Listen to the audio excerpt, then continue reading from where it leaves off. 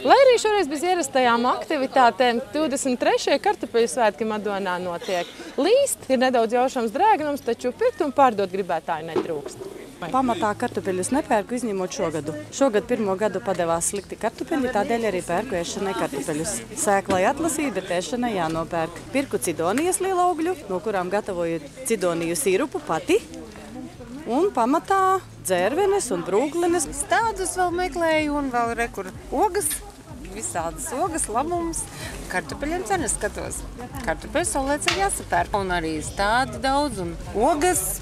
Katrs var kaut ko izvēlēties. Tas ir lielākais rudens gada tirgus Madonā. Mēs ļoti priecājamies, ka kuplā skaitā ir mūsu jaunā novada, gan amatnieki, gan zemnieki un, un, un pārtikas produktu ražotāji, bet, protams, ir no visas Latvijas, pat no kurzemes. No atšķirībā no citiem gadiem noteikti ir mazāks amatnieku skaits, un šoreiz esam likuši akcentu tiešām tikai uz rudens ražu un uz stādiem. Saistībā ar ierobežojumu izpaliek mūsu aktivitātes, stafetes un citas atrakcijas, bet esam sarūpējuši visiem siltu ugunskura, siltu zupu sarūpējuši un, protams, fonā skan mūzika un mazajiem bērniem ir dzīvnieku mazais zooparks. Protams, tirgotāju pieteikumu skaits bija ļoti liels, praktiski gandrīz 300, bet ņemot vērā Covid ierobežojumus, mēs varam izvietot tikai noteiktu šo tirgotāju skaitu un ļoti lielai daļai nācās atteikt, diemžēl, bet ceram, ka pēc gada varbūt kaut kas mainīsies. Taču neraugoties uz visu, arī šogad tirgus ir plašs. Te sabraukuši te jau 200 tirgotāji līdz ar amatnieku darinājumiem, piedāvājot pašu ceptu maizīti, gaļu, sieru, dažādus našķus un dārzeņus.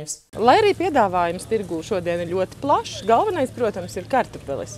Kartupeļu svētki Madonā tas ir ierasts pasākums jau entos gadus. Braucam, um, esam uzticību ieguvuši no vietējiem iedzīvotājiem, kur mūs gaida.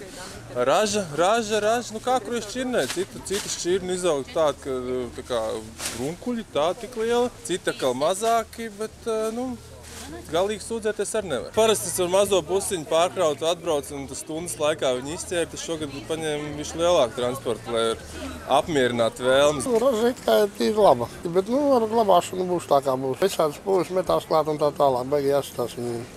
Jo, jo nu, saku, šitais gads nu, nav, nav pateicīgs gads, pirms citiem vispār ražas nav. Šogad saņemsim to, ko ieguldījām un arī nopelnīsim.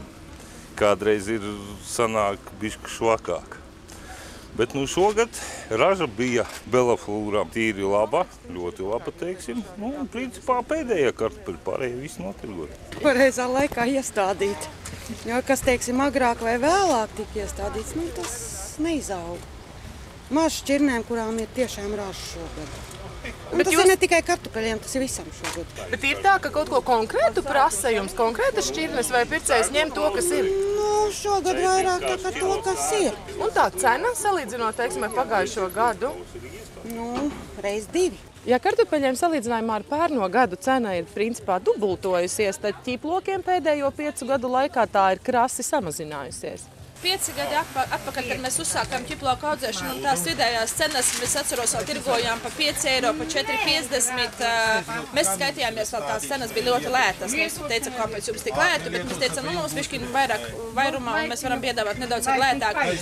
Bet ar katru gadu sakarā ar to, kad ir vairāk ķiploku audzētāju, nāk arī ļoti daudz importa, Ukrainas ķiploku iekšā, līdz ar to tie tirgi jau sāk palikt pārpildīti, un līdz ar to, ar to katru gadu esam pamanījuši, ka tā ķiploka cena, diemžēl, krītās. Darbs un viss pārējais izmaksas tikai auga, bet, bet ķiploks jā, pats paliek lētāks. Kā stāsta Linda, šīs vasaras laika apstākļi ķiploku audzētājiem sarūpējuši gana daudz galvas sāpju, taču raža no teju 2,5 hektārus lielā lauka ienākusies laba. Mēs arī pārstrādājam kaltētos ķiplociņos, ja mums kāds arī grib ziemai nogaršo tādā veidā uzglabājas gadu vismaz. Ļoti ērti lietojams, un ļoti daudzi klienti, kas ir jau iepazinuši mūsu produktu, ir arī pārgājuši no svaigiem ķiplokiem. Viņi vairs nepērk, viņi pērk mums kaltētos. Tā kā, jā, kaut kā sava veida prototīns, ko piedāvāt arī ilgākai uzglabāšanai. Tur gan esot jāievēro virkne nosacījumu, lai ķiploks labi saglabātos ilgstoši. Atkarībā kur uzglabā, kādā veidā uzglabā, kādas ir temperatūras. Jo ķiplokam arī viņam patīk 20, 22 vai arī 0 grādi, teiksim, leduskapī. Citi tur, bet, bet citās mājās ir pārkurināts vai mitrums kaut kāds. Tad nu, tas ir pir- pirmie tādi vēstneši, kas, kas liecinās par to, ka ķiploks ilgi nestāvēs. Kaut nedaudz klusāk, taču nemazāk ražīgi 23. kartupeļu svētki ir izskanējuši. Un jau šobrīd ar pārliecību madonieši teica, ka arī nākamgad Svētki par godu otrajai maizītei kartupelim būs. Sandra Zariņēlis Cāzars RTV.